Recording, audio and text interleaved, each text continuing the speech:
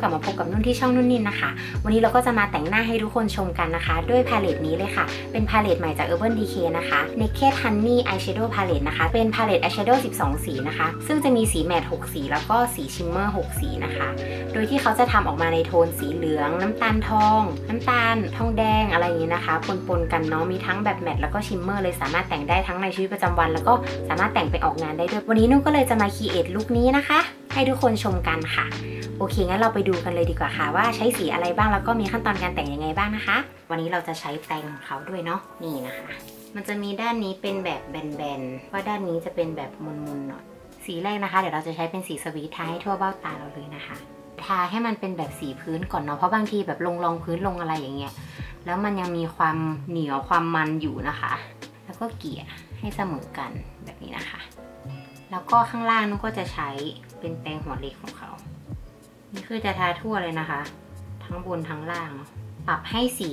ของตาทั้งหมดเรามันสม่ำเสมอกันนะคะแปรงเขาก็คือใช้ดีนี่สามารถแพ็กสีลงไปได้ชัดเจนนะคะ ต่อไปเราจะเอาสี Keeper นะคะ มาทาบริเวณ หัวตาแล้วก็หางตานะคะ อันนี้มันก็จะเป็นสีน้ำตาล matte แต่ว่าจะเป็นสีที่แบบอมเหลืองกว่าสีเมื่อกี้นิดนึงนะคะ แล้วก็เข้มกว่า กดกด pack pack เข้าไปนะคะ นี่ก็จะได้แบบนี้เนาะให้ตามันดูมีมิติมากขึ้นนะคะ เราจะลงพวกสี matte ลงไปก่อนนะคะ เหมือนเป็นแบบแรเงาให้ตามันดูมีมิติแล้วเดี๋ยวเราค่อย top ด้วยสีที่เป็น shimmer ทีหลังเนาะต่อไปนะคะจะเป็นสี Drip นะคะ สี Drip อันนี้เดี๋ยวจะใช้ทา ตรงหางตาตรงนี้หางตาล่างเนาะใช้แป้งของเขาเหมือนเดิมนะคะ วันนี้จะพยายามแบบใช้แป้งของเขานะคะ แต่ถ้าบางที่มันบริเวณเล็กเราก็จะเปลี่ยนแปลงเนาะเพื่อทุกคนจะได้เห็นประสิทธิภาพของแปรงไปด้วยเนาะว่าเออแปรงที่เขาแถมมาในพาเลตมันสามารถใช้ได้นะคะ เวลาเราไปไหน พกไปเดินทางไปเที่ยวอะไรเงี้ยเราจะได้ไม่ต้องเอาแปรงไปเยอะนะคะ เพราะว่าแปรงของเขาก็สามารถใช้ได้เหมือนกันนี่นะคะ ทาบริเวณนี้แล้วก็เกลี่ยขึ้นมาโอเคค่ะ หลังจากนั้นนะคะ เราจะทาบริเวณที่เล็กลงแล้วเราก็จะเปลี่ยนแปลงนะคะ เป็นแปรงเล็กๆ เราจะใช้สีสติงนะคะ ทาบริเวณหัวตากับหางตา แต่ว่าให้มันกว้างแค่เท่ากับรอยพับชั้นตาเราเนาะให้ตามันดูมีมิติมากขึ้น นี่นะคะ เราก็เกลี่ยเข้ามา สามารถทำให้มันเลยเลยหางลงมาตรงนี้ได้นะคะ ให้มันดูฟุ้งๆตรงนี้ อันนี้เราก็จะลงเป็นแบบพวกสี matte เรียบร้อยแล้วนะคะ ต่อไปก็จะลงเป็นพวกสี shimmer เลยเนาะนี่นุ่นลองสวอชไปแล้วเนาะแต่ว่านุ่นยังไม่ได้ลองใช้กับแปรงเขานะคะ ว่าจะเป็นยังไง สีแรกที่ใช้นะคะ ก็จะเป็นสี Amber ค่ะ ก็จะเริ่มลงเป็นชั้นบางๆ ทั่วเปลือกตาเลยนะคะ ทับกับสี matte ที่เราทาไปตอนแรก เนื้อสีคือแบบแววๆแบบสีดูแพงมากนะคะ ประมาณนี้นะคะ แค่ให้มันพอมีเหลือบๆ shimmer นิดๆนะคะอะแล้วต่อไปนะคะ เราก็จะทาสี Golden กับสี Honey นะคะ ตรงบริเวณกลางตรงนี้ สี Golden กับสี Honey นี่จะขอใช้มือนะคะ แล้วเดี๋ยวเราเอาแปรง blend อีกทีเนาะ โอ้อันนี้คือสี Golden นะคะ คือแตะลงไปอะแบบนิดเดียวอะคือขึ้นมาขนาดนี้เลยอะ โอ้ นี่นะคะอุ้ยสีโกลเด้นสวยมาก แตะลงไปบริเวณกลางตานะคะ แล้วก็เอาแปรงใหญ่ๆ อันนี้เกลี่ยๆหน่อยนะคะ เกลี่ยเด็ดขอบตรงเนี้ยนิดเดียวนะคะ มันก็จะมีร่วงๆเนาะแต่เดี๋ยวเราก็แป้งคลีนออกก็ได้นะคะ หรือว่าถ้าใครกลัวแบบมันจะร่วงตั้งแต่แรกอะ่ะก็ลงรองพื้นที่หลังก็ได้นะคะ ต่อไปเราก็จะมาลงสีฮันนี่นะคะ ตรงกลางสีโกลเด้นเป็นบริเวณเล็กๆแบบนี้ สีฮันนี่แล้วก็จะใช้นิ้วเหมือนกันนะคะ นี่มันจะดูเป็นทองบางๆเนาะบางๆกว่าสีโกลเด้นเมื่อกี้นะคะ เราแท็บไปตรงกลางตรงนี้นะคะนิดเดียวไม่ต้องเกี่ยวออกไปเยอะกดกดกดย้ำย้ำที่เดิมนะคะอันนี้คือในส่วนของตาบนนะคะ ประมาณนี้ตาล่างนุ้นก็จะทาสีชิมเมอร์เหมือนกันเนาะจะแบ่งเป็นหัวกลางท้ายนะคะ เดี๋ยวเราใช้สีโกลเด้นทาตรงหัวตา แล้วก็โค้งขึ้นมาตรงนี้ด้วยนะคะ ตรงกลางเดี๋ยวเราจะใช้สี Amber นะคะ ในการทาให้มันเข้มขึ้นกว่าสี Golden เนาะไล่แบบอ่อนมาเข้มนะคะ นี่มันก็จะเป็นแบบเจือทองแดงทองแดงหน่อยเนาะคือพอเขาทำโทนสีมาเป็นแบบทองน้ำตาล ทองแดงอะไรอย่างเงี้ย เหลืองอย่างเงี้ยเนาะมันก็ทำให้พอเราเกลี่ยมันก็ดูเข้ากันไปหมดเลยนะคะ แล้วก็ตรงหางตาสุดท้ายจะใช้เป็นสี Queen นะคะ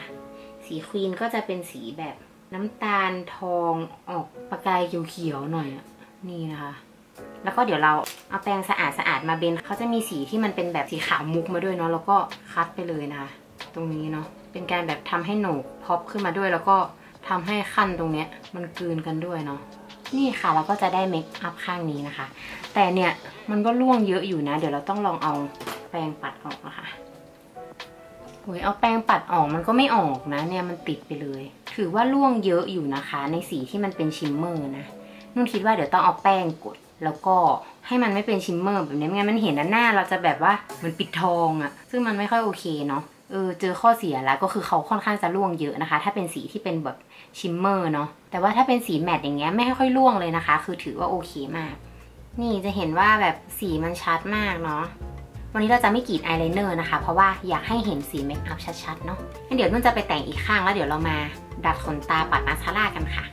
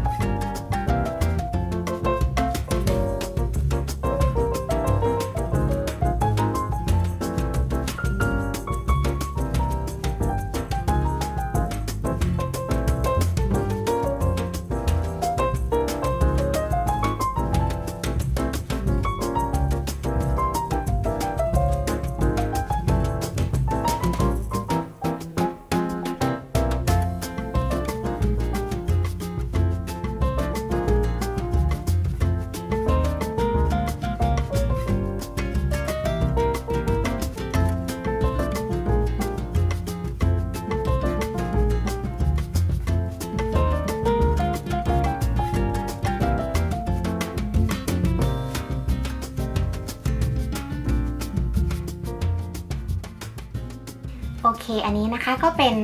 ตาที่เราทาด้วยเล็กเข็ดฮันนีนะคะ จะได้ตาที่แบบว่าเรียบหรูดูแพงมากเนาะโทนสีที่เขาคัดมามันเป็นโทนสีที่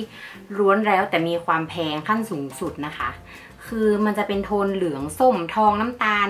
ทองแดงน้ำตาลแดงอะไรอย่างเงี้ยมีทั้งสีแมต ที่มีตั้งแต่อ่อนถึงเข้มเนาะก็คือใช้สีแมตต์ทาในชีวิตประจำวันก็ได้ หรือว่าจะใช้สี shimmer ทาก็ได้ก็มีสีอ่อนให้เราเลือกอยู่นะคะ แล้วก็ถ้าเราจะไปงานเราก็สามารถเพิ่มมิติให้ดวงตาเราเนาะโดยการที่เล่นสีไล่สีอะไรแบบนี้นะคะนุ่นคิดว่า palette เนี้ยคุ้มค่ากับการลงทุนอยู่นะคะ ก็แอบมาแบบเก็บตรงที่มันเป็นกากเพชรตกๆอยู่เนาะเป็นแบบ shimmer มันร่วงๆลงมาไม่งั้นหน้าเราก็จะวาวไปเลยนะคะ คราวนี้เรามาลองพร้อมกับทุกคนเนาะ ตอนนี้รู้แล้วว่าแบบเออมันร่วงเยอะอยู่นะคะ ที่มันเป็นสี shimmer อะถ้าไม่อยากให้มันร่วงคราวหน้าก็คือ เดี๋ยวนุ่นจะแต่งตาก่อนแล้วก็ เดี๋ยวเราค่อยลงรองพื้นกับแป้งทีหลังนะคะ